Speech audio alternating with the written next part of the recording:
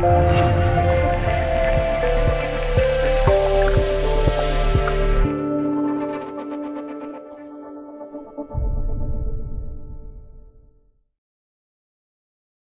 特号所属的海狼级是目前世界上最先进的攻击型核潜艇。二零一三年一月十一日，美国海军的吉米卡特号攻击型核潜艇 SSN 二三离开了其在基查普海军基地的泊地，并进行了为期五天的部署前测试作业。随后，在一月二十日，卡特号正式启程展开部署及进行一项名为“七号任务”的神秘任务。那究竟什么是七号任务呢？首先，我们可以先看看卡特号作为海狼级攻击型核潜艇的最后一艘。卡特号与它的两个姊妹不同的是，它的舰体中段加插了一段长三十日、重两千五百吨的多任务平台 （MMP）。该平台的关键能够根据不同的任务需求或测试作业，插入不同的任务硬件。卡特号的特殊之处在于它的多任务平台，而卡特号从二零一三年一月二十日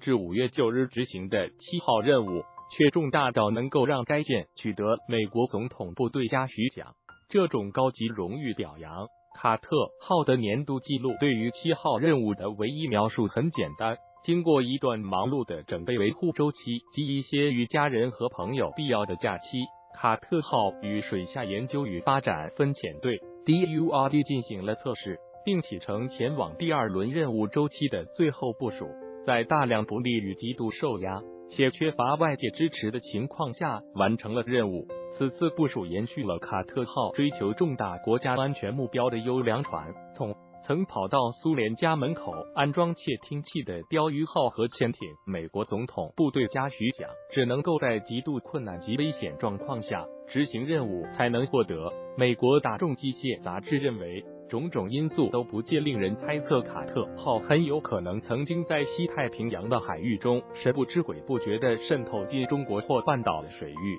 进行类似冷战时期的常春藤之灵行动，也就是在海底通讯电缆中。设置窃听器以监控机密通讯。据报道，巡鱼级攻击型核潜艇鲷鱼号就曾在一九七八年至一九七九年在鄂霍次克海的前苏联海军海底通讯电缆中安装了窃听器。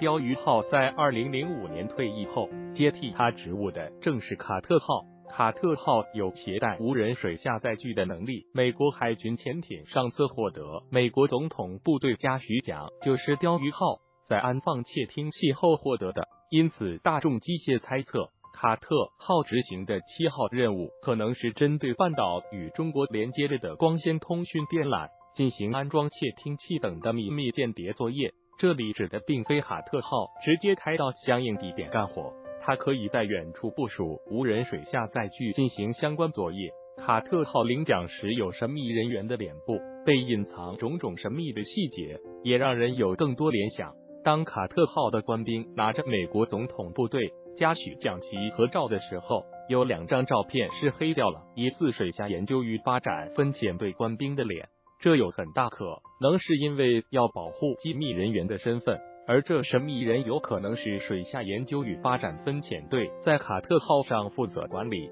或运作无人水下载具的人。